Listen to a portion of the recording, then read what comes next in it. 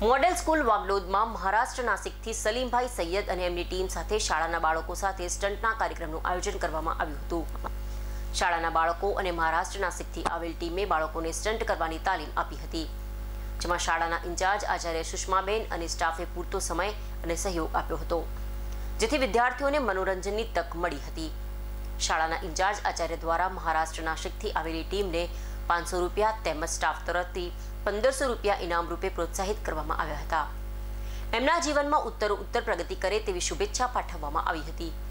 અને આ કાર્યક્રમ કરવા બદલ શાળા તરફથી ટીમને પ્રમાણપત્ર આપવામાં આવ્યું હતું.